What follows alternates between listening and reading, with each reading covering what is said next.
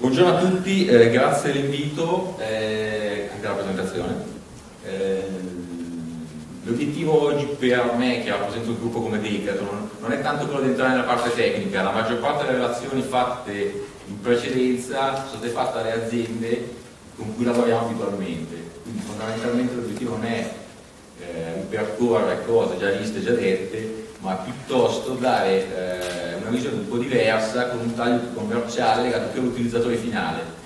Noi parliamo tanto di tecnica all'interno del mondo universitario, però ci sono vari passaggi che poi portano a un successo meno commerciale di vari prodotti. Ehm, l'obiettivo quindi di oggi, eh, per quanto mi riguarda, è presentare un caso aziendale casa aziendale perché speravo che ci fosse qualche studente in più. In effetti il professor Rosacci mi aveva detto che ci sarebbero stati tanti studenti, non è vero, però forse ce ne sono 3-4, ecco, 4. per noi è impossibile assumere uno studente di Bergamo, quindi non ci stupisce, non ci sono. Sono a studiare? Probabilmente, ma non credo perché non c'è nessuno in giro. Comunque parlerò oggi dei costumi da bagno, perché? Perché in realtà è un prodotto relativamente semplice che si presta a uh, tutta una serie di applicazioni. Uh, che cos'è il mondo dei consumi da bagno? Uh, parlando del mercato, il mercato dei consumi da bagno oggi rappresenta a livello mondiale un fatturato di circa 10 miliardi di euro. Quindi a livello mondiale è un mercato molto interessante, rappresenta circa il 3% del mercato dello sport. Quindi è un, ha un livello di interesse molto elevato.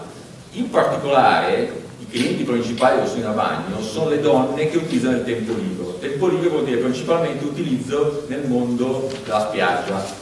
Diciamo tutto quello che è utilizzo di costume da bagno a parte la piscina. Questo mercato rappresenta circa 3 miliardi e mezzo.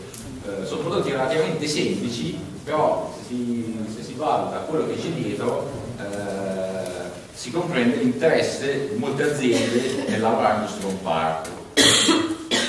Solo per, dal nostro punto di vista noi ad oggi abbiamo un mercato che è relativamente piccolo, perché il 2%, un mercato piccolo del 2% sono comunque 70 milioni di euro. 70 milioni di euro vuol dire che l'interesse che abbiamo è dire, eh, molto forte. Noi commercializziamo un marchio che si chiama Tagliorma, questo è relativamente eh. Vediamo com'è questo mercato. Ma i mercati sono caratterizzati dalle curve di vendita. Le curve di vendita del, del costume da bagno oggi è l'unico grafico che vi farò vedere io, eh, quindi non preoccupatevi, è semplice, colorato, non ci sono però è questo. I costumi da bagno per, per, la donna si vendono tra la settimana 21 e la settimana 32, si vendono tutti tra fine maggio e fine agosto, poi basta. Come i gelati? Sì, è che i gelati si possono mantenere e conservare anche negli anni. I costumi da bagno fatti dei colori sbagliati non ci fanno ben niente, perché il colore sbagliato, eh, il disegno sbagliato rimane sul bucone. E questo è il tema. Mi ha anticipato, ma sono rischioso. Eh, prego. Quindi a livello produttivo cosa si può fare? Ah, il problema è il tema, perché il 70% della collezione, che è fatta su tessuti stampati, eh, deve essere fatta per garantire una disponibilità del negozio per chiunque li venda eh, e allo stesso tempo deve evitare l'extra stock a fine della stagione. Perché poi sono una collezione bellissima ma se poi a fine dell'anno rimane sul globbone io ho la scusa che è stato brutto tempo però quando vado a validare il mio bilancio di fine anno il brutto tempo ad oggi non viene ancora contabilizzato. Quindi ci sono dei bagni di sangue enormi. Questo è il contesto quindi come si affronta dal punto di vista produttivo? C'è l'opzione standard, che è quella che quasi tutti utilizzano e in onestà fino a un paio d'anni anche noi utilizzavamo. Cos'è che si fa? Si definiscono i modelli e le quantità. A ottobre si fanno delle, delle previsioni. Secondo me l'anno scorso è venuto un milione, quest'anno ci sarà solo, ne venderò un milione e cento. I colori, va giallo, verde, viola, questo disegno, quest'anno va il giallo, quest'anno va questa cosa qua. Fondamentalmente sono fatti ottici non c'è nessun metodo scientifico, sono totalmente... La sfera di cristallo. Beh, fondi del caffè, ognuno dei propri, dal punto di vista non c'è niente di scientifico. Cosa accade quindi? Siccome c'è niente di scientifico... Come tutti i budget. Come? Come tutti i budget. Sì, esatto, ma questo è ancora di più. Questo è ancora di più. Poi c'è il budget. Sì, ma quello fa fine anno e poi dopo la scusa, c'è stato tutto tempo, il sole, eccetera. Io però il mio rischio me lo devo gestire. Come gestisco il rischio? Fondamentalmente con un modo molto semplice, lo scarico sul cliente finale, aumento il prezzo o il margine. Quindi ad oggi io per gestire la mia rischiosità dico vabbè, eh, caro mio, mi spiace, ma lei pagare più costume perché se poi non vende, me lo posso tenere io, non sono un omnibus. Ora, questo tipo di approccio filosofico come gruppo ci piaceva poco e quindi volevamo cambiare. Non è corretto che il cliente paghi le mie incapacità gestionali di scegliere una collezione che venda. E quindi abbiamo provato a modificarlo. Per concludere, la, uh, il modello standard prevede che a dicembre parto dalla produzione, stampo tutti i miei tessuti, li confeziono e ho, ho terminato la mia produzione dell'anno. Poi, se ne la croce, il 31 agosto devo lo successo. Ora, questo sistema, come vedete, sta in piedi grazie a un unico uh, variabile, che è quella del prezzo. Se vendo di più di quello che avevo prodotto, ah, vuol dire che i miei negozi saranno vuoti, questo vale per chiunque. Se viceversa la stagione va male, mi trovo uno stock enorme a fine dell'anno. Questa è la, la foto. Abbiamo provato a rivedere questo modello. Questo è stato il nostro esercizio. E cosa abbiamo fatto? Abbiamo fatto una cosa che è relativamente semplice da un certo punto di vista, in realtà dietro eh, c'è molto di più. Abbiamo provato a mettere in dubbio qualche certezza. Quando voi parlate di costumi da bagno, il tessuto nobile per eccellenza è poliamide. Magari fate un convegno anche su poliamide, parleremo al contrario, però fondamentalmente è quello. Eh, quando si parla di poliestere non è considerato un tessuto nobile. Cosa accade concretamente? Che se Decathlon mette nella propria gamma prodotti il poliestere, sui giornali esce l'articolo eh, a Decathlon diventa dei barboni perché usano il poliestere al posto poliamide. Se lo usa Dolce Gabbana su un costume da 300 euro, il titolo è poliestere nobilitata. Ovviamente in base a chi fa le cose eh, c'è una valutazione. Però questo per noi è un fortissimo. A livello commerciale non volevamo cambiare. Cioè, poliamide o poliestere per noi è un problema grosso.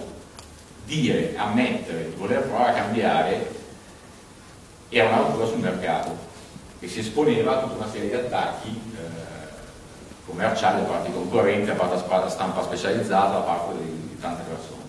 E poi, se veniamo al tecnico, l'unico commento tecnico che posso fare, ma le diversità dei tessuti tutti qua dentro le conoscete meglio di quanto le conosca io. Si possono fare tutti gli SWOT che vogliamo, vantaggi, inconvenienti, eccetera, eccetera. Non abbiamo voluto fare questo, noi abbiamo voluto valutare solamente un elemento che per noi poteva essere interessante. Che il processo di stampa su poliestere, attraverso sublimazione, è quantomeno diverso rispetto a quello che si può fare su poliamide. Ad oggi, a me hanno spiegato tante volte, hanno raccontato tante volte che si può sublimare su poliamide, però 100.000 anni fatti non li ho mai visti. Poi magari si potranno fare, però eh, all'ancora non li ho visti. Colori chiari. Com'è? Solo colori chiari. Solo colori chiari, al chiaro di luna, eh, giorni pari e ne vediamo tutti. E fondamentalmente quindi voi che conoscete i processi di stampa, ci sono quelli tradizionali, quadro cilindro, c'è la sublimazione, c'è l'ingetto. Oggi l'ingetto, la curva del costo industriale si sta avvicinando molto a quello tradizionale, diciamo che non c'è stata la, la, la sola produzione, la attendiamo ma non è ancora arrivata. Quindi la scelta che noi rimaniva da sublimare e eh, stampare più o meno tradizionalmente. Quindi abbiamo scelto di fare questa cosa. Costumi in poliestere sublimati quindi in questo caso il poliestere è stato un veicolo a un'azione commerciale. Però detto così, vabbè ok, cosa cambia? Ecco, cosa cambia valutazione? Una cosa a ottobre usiamo un po' meno fonti di caffè per valutare che modelli e quantità fare perché definiamo solamente una quota parte della gamma. Ci sono delle tendenze di moda che si conoscono, non si conoscono tutte. Ci sono i saloni che alcuni di voi probabilmente conoscono, magari di moda, piuttosto che quelli specializzati sul, sul mondo del bagno, danno delle tendenze, non sono esaustivi. Lancio a produzione è fatto solamente una, una quota parte, non si produce tutto, si produce solamente una quota parte a dicembre. Questo cosa vuol dire? Lasciare flessibilità per dopo. Quello che noi facciamo è un test commerciale per marzo, vi spiegherò poi brevemente come questo avviene. Però fondamentalmente vogliamo capire proprio a marzo che cosa interessa al cliente e cosa piace in maniera tale da mettere in negozio quello che i clienti giudicano accettabile dal punto di vista dell'acquisto. E spostiamo la produzione ad aprile, maggio e giugno. Fondamentalmente da pensare che un negozio, che un cliente che compra un costume il 5 agosto, probabilmente quel, quel tessuto è stato stampato il eh, 20 giugno e confezionato il 30 giugno. Quindi il tempo di vita di quel prodotto in realtà sono solamente 5 settimane. Cosa che se fanno le comparazioni con altri prodotti eh, nostri concorrenti non è il caso. Come questa cosa avviene?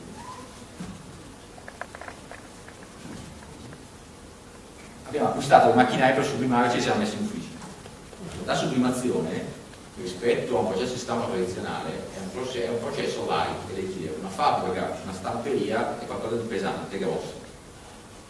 Ha dietro dei macchinari, delle competenze molto dire, consolidate nel tempo. La sublimazione per tutta una serie di motivi è qualcosa di più light e leggero. Anche noi che siamo, beh, sono ingegnere, però ogni tanto eh, ho a che fare con la tecnica, insomma, si possono utilizzare, possono in 100 metri quadrati tutti i file di reparto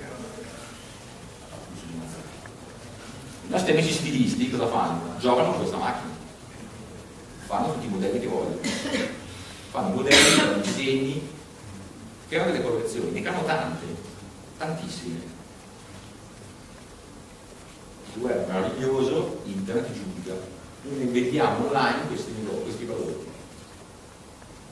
Praticamente la rete, i clienti che acquistano dicono quali sono i costumi belli quali quelli che non acquistano mai perché fanno schifo per colore, modello, eccetera, eccetera. Quindi fondamentalmente noi a febbraio-marzo sappiamo quello che possiamo vendere e quello che viceversa forse è meglio che la blocchiamo. Quindi ci manteniamo la flessibilità che abbiamo visto prima per il proseguo della stagione. Abbiamo acquistato gli stessi macchinari su scala industriale per sublimare in prossimità dove, dove avviene la confezione. Quindi voi leggete qua una riga può sembrare semplice, in realtà fare questa cosa ci ha messo due anni, perché un di dire compro una macchina 10 bottone, ma non, come voi sapete tutti non è così. Non compro una macchina 10 bottone, ma deve settare il mio parametro e non viene mai uguale. Quindi questo tipo di eh, match è stato molto lungo, però in finale ci siamo, ci siamo riusciti. E quindi fondamentalmente il giorno in cui io valuto ciò che i clienti in rete hanno deciso che sarà un successo commerciale, al pomeriggio può partire la produzione della stampa del tessuto. Perché? Perché lo stesso macchinario su scala industriale va a produrre, comincia la produzione di quel tessuto stampato che è stato giudicato vincente dal punto di vista commerciale. Questo tipo di accampate su piazzato, quindi su già il... Non necessariamente su piazzato, su anche... Oppure tagliato dopo. Esattamente. Però questo cosa vuol dire? Che eh, eh, il tessuto ci concede una flessibilità che oggi un processo attraverso una stampa su polamide non ci, non ci lascia, perché la stampa su polamide prevede la costruzione dei quadri, delle incisioni, eh, dei test, è un processo in avvio un po' più lungo, sicuramente un po' più lungo. Poi dopo magari nel corso del tempo, questo tempo di avvio viene recuperato quando io vi parlavo, produco a maggio-giugno e vendo ad agosto, questo tempo si conta sull'ordine delle ore. Un giorno è un giorno, non è massimo, è un giorno. A ottobre un giorno è massimo, ma a maggio-giugno no. Perché fondamentalmente nel nostro concetto non esiste lo stop. Lo stop c'è, quello c'è il negozio. Se c'è c'è, se non c'è non c'è. Non è che dietro, a destra, a sinistra, quindi la catena produttiva di approvvigionamento deve funzionare bene, alcune volte accade, altre no. Però fondamentalmente questo è. La conclusione, l'obiettivo era semplicemente mostrare come un tessuto, qui oggi parlavamo di poliester, conceda una flessibilità commerciale che altre tipologie di tessuto non danno. Quindi l'obiettivo da un lato era lo avete visto che a di Colombo non è che era la scienza rivelata, però dietro in termini organizzativi, investimenti economici, c'è tutt'altro, perché tutto il processo che vi ho spiegato in quattro parole prevede qualcosa di eh, molto più complesso. Valutare le vendite su internet a partire da un campione di 100 acquisti è complicato, perché dietro ci sono degli algoritmi non banali, non è che io metto, faccio una pagina internet sul quattro disperati lo comprano, perché se sbaglio, avete visto, noi parliamo 70 milioni di euro di acquisto, quindi bagni di sangue sono enormi. Non possiamo sbagliare. La conclusione, penso di essere rimasto nei tempi, oggi noi il poliestere ci dà una flessibilità commerciale che altri vasi di stampa non ci danno. Questo.